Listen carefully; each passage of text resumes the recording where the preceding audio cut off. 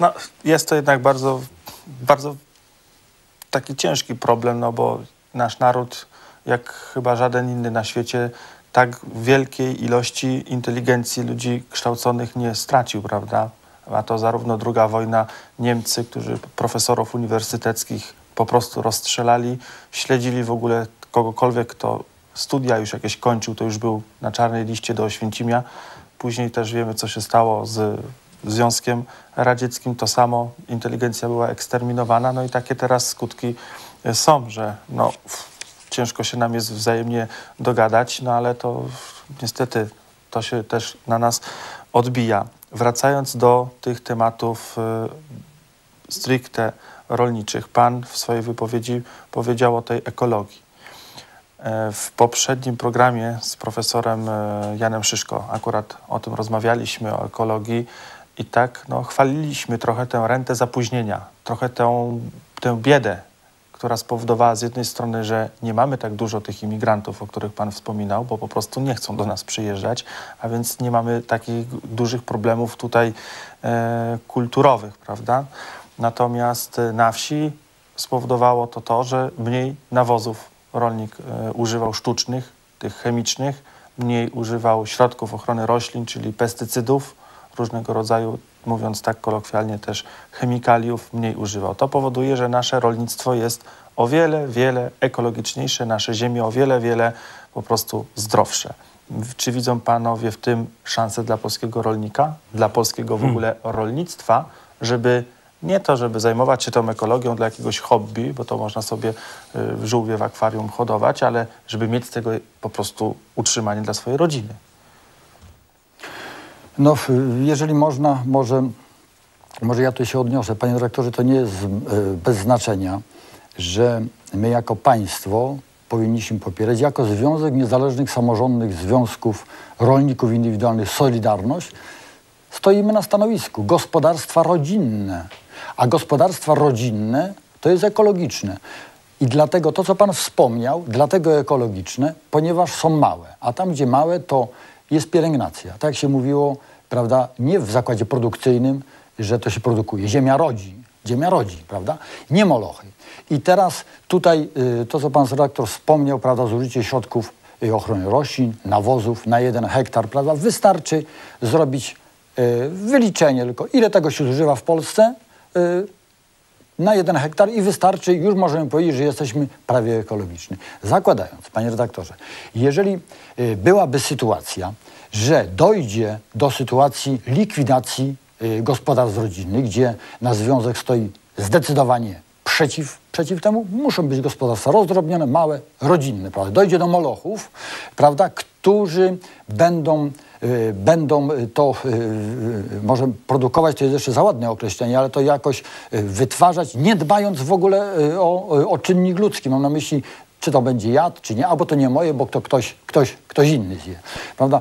I tutaj w tym kierunku, ja myślę, są, są nasze działania. działania. Nawiążę jeszcze prawda, do tej expose panego, pana premiera. No ja nie wiem, no myślę, że, że premier no, wybrany większością narodu. No, no, naród w jakiś sposób popiera, wybrał. No dobrze, naród wybrał, no demokratycznie.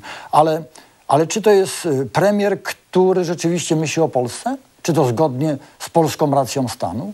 Ja myślę, że daleko idące rzeczy są. No, tutaj w tej chwili y, polska prezydencja, no jeżeli my się chwalimy na przykład y, tym, że największe osiągnięcie, że zaproponowaliśmy Chorwacji, że Chorwacja będzie. To jest najwię największy udział nas, prawda, w prezydencji europejskiej. Prawda? Ale sukces. A, no potężny sukces prawdopodobnie. I teraz my mamy spłacać długi za Grecję z pełnym szacunkiem. Jeżeli jesteśmy y, w, tym, y, w, te, w tej rodzinie Unii Europejskiej, to niech będą zasady dla wszystkich. A wrócimy do tematu rurociągu, rurociągu bałtyckiego, prawda? Jak się zachowały nasze y, sąsiedzi? Gdybyśmy my się tak zachowali, co by w ten czas było, prawda? I taka sama sytuacja jest w tej chwili. I dlatego ja się pytam, jakim prawem y, my jako rolnicy, można powiedzieć, jedni z najbiedniejszych w Unii Europejskiej, bo mamy najniższe dopłaty, my mamy najniższe dopłaty, a Grecja ma najwyższe dopłaty. Najwyższe dopłaty w całej Unii Europejskiej. Nikt nie ma wyższych dopłat. To jest to. Druga sprawa. W tej chwili, jeżeli ja słucham, że w Grecji w tej chwili y, jest y, sprzedaż najwyższa samochodów osobowych nowych, no to coś tu jest nie tak, Z panie dopłatą, redaktorze. z dopłatą. No, no nie wiem, jak, ale oni kupują, czyli muszę mieć pieniądze, prawda? A my im pomagamy. No, a jak Polska potrzebowała e, pieniędzy, no to na procenty się pożyczało, prawda? E, Na, I trzeba oddać kapitał plus procent. Natomiast tutaj e, tak te początkowe informacje i nie wiemy, jak to się skończy, no to tak jak gdybyśmy mieli tylko pożyczyć i też, też nie wiadomo, czy w ogóle zwrócą. Jeśli zwrócą, to dobrze. Natomiast jakoś tak o tych procentach, to nie słyszałem, żeby to powiedziane było, że Międzynarodowy Fundusz Walutowy zarządzi tymi naszymi pieniędzmi i odda nam jakiś procent dodatkowo. No to tutaj o tym się nie mówi. Natomiast mówi się o tym, że Polska ma spłacać długi swoje międzynarodowe. No to jeśli to tak wygląda ta solidarność, no to chyba tu rzeczywiście pańskie obawy są A czy pan redaktor zna dług y, zadłużenia państwa? Bo ja nie. No to są, to są w miliardy po prostu idą Ale rzeczy. praktycznie to mało kto zna. Z tego, I co jed- mówią politycy, e, między innymi pan e, poseł Jurgiel, budżet jest do tego stopnia wirtualny, że prawdziwego długu nie znamy. No nie znamy I, i, nie, i myślę, że długo nie będziemy znać. Jeżeli, jeżeli pan minister Rostowski mówi, że mamy konto otwarte, prawda, że możemy brać ile, ja też mógłbym wziąć. Pan mógłby wziąć, kolega mógłby wziąć, każdy mógłby wziąć kredyt, ale musimy myśleć o tym, że go musimy spłacić, prawda? I teraz dla mnie jest bardzo niepokojące, jeżeli kilka miesięcy temu, właśnie tak jak pan minister stwierdził, że mamy konto otwarte, możemy brać ile chcemy. Coś tu jest nie tak, proszę państwa. No tak, ale za to samą otwartą linię kredytową też trzeba płacić za ten luksus. No to, to, to też to tak, za samo to, że ktoś... Nie wykorzystano. Jeszcze na razie nie jest- Ta, co jest wykorzystano. gotowości. A to są też miliony, gotowość, miliony po prostu pieniędzy no, puszczone z, z dymem, bo to inaczej nie można tego nazwać, no bo to za nic tak naprawdę płacić, to, to ja tego nie rozumiem, no ale trudno. Ja to bym chciał jeszcze tu nawiązać do, do tego rolnictwa ekologicznego, Proszę bardzo. e, które oczywiście e, rolnictwo ekologiczne produkuje e, żywność bardzo zdrową i ona jest bardzo dobrze widziana właśnie na zachodzie.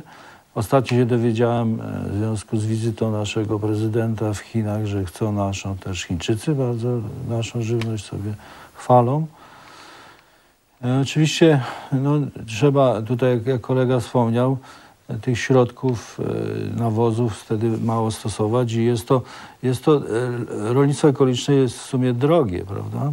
Jest, No, panie Jakubie, przepraszam, wejdę w słowo. Jaka tu jest, że tak powiem, hipokryzja w tym całym systemie? No bo tak patrząc z punktu widzenia człowieka, który mieszka w mieście, on jest zmuszony do kupienia e, wieprzowiny, która przyjeżdża do nas z Danii Tak, i z innych państw, która ona w ogóle, ja, ja nie mówię o ekologicznej, tak? tylko ja mówię o, o produktach takich normalnych, y, przemysł, tych y, rolniczych.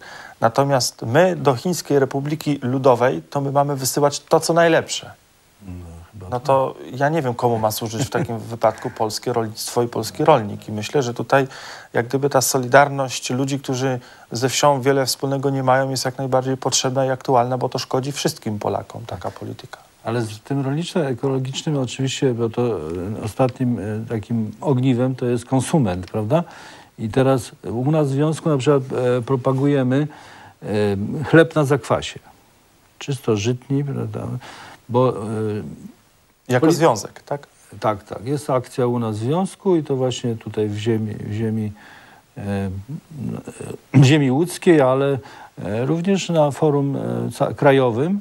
Dlaczego? Bo Politechnika e, Łódzka zrobiła kilka lat temu badania co do chleba na zakwasie i, i tam stwierdzono już dokładnie w badaniach, że chleb na zakwasie jest również lekarstwem. Także nie tylko jest ży- żywnością, ale jest to lekarstwo. Także, a ten chleb, który tam e, się produkuje w, w tych fabrykach chleba, można powiedzieć, to, to on tam za dużo z tym chlebem prawdziwym nie ma związku. Bo no, to jest tak, No, rozmawiałem z jednym człowiekiem, który e, to ciasto na chleb Tak, e, tak. mieszał i mówi, że najpowszechniejsza taka choroba występuje wśród tych ludzi, którzy mają styczność z tym, z tą, tym ciastem, to jest dermatoza rąk na skutek tylu chemikaliów, które Właśnie, są po prostu w właśnie, tym no. chlebie.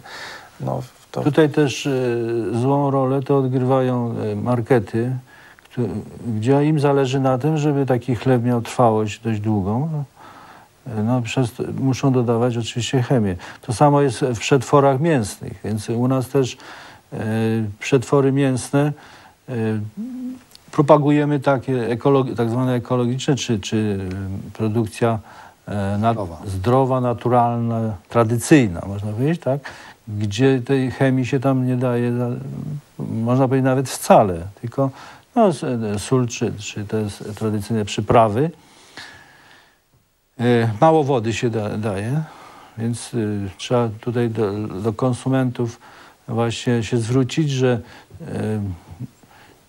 tania żywność, ta, tania żywność jest, e, można powiedzieć, ta, tanią trucizną. Tak, tak my to, bo e, tam takiego mięsa prawdziwego to tam jest mało, natomiast są e, dużo jest właśnie substytutów. A słyszeli panowie o tym, że e, były kontrole przez, e, no, przez instytucję państwową e, jakości produktów e, w sklepach, zarówno masła, wędlin i wielu innych i okazuje się, że producenci fałszują zawartość mięsa w mięsie, masła Tak, w maśle i wielu innych i jakaś dziwna rzecz. Nie wolno ujawnić No właśnie. firmy. A, Oczywiście. Tak. A właśnie e, tu nasz postulat jest w ogóle dla agent rządowych, e, żeby w produkcie było do, jasno napisane, co tam jest, dlaczego. Teraz najczęściej już jest. No i dlaczego? Bo idziemy z produktem do laboratorium i stwierdzą, czy, czy to rzeczywiście jest, czy tej wody jest 30% czy 130%, prawda? Niech się konsument zastanowi, czy, czy warto mu kupić e, wyrób, e, gdzie jest 130% wody w tym, nie? No tą wodę trzeba czymś związać, prawda, nie?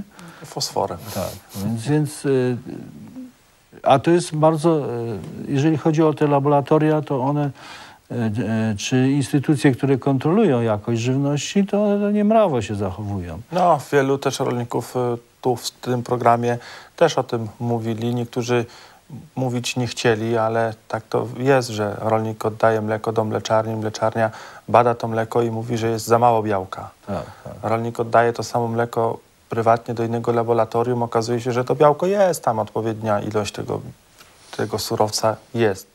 A mleczarnia mówi, że jest go mało i chce zapłacić za to mleko mniej. to samo drobiarze oddają próbki kału, prawda, kurcząt do badania do laboratoriów. No w ogóle też dziwna sprawa, bo to trochę tak jak gdyby poprosić potencjalnego podejrzanego, aby sam przyniósł Właśnie. do prokuratury się, prawda, tak. e, potencjalne narzędzia przestępstwa, no to wiadomo, że przyniesie takie, gdzie nie będzie odcisków, prawda? Ja może, mogę, A tu no tak wygląda kontrola sanitarna w takim wypadku.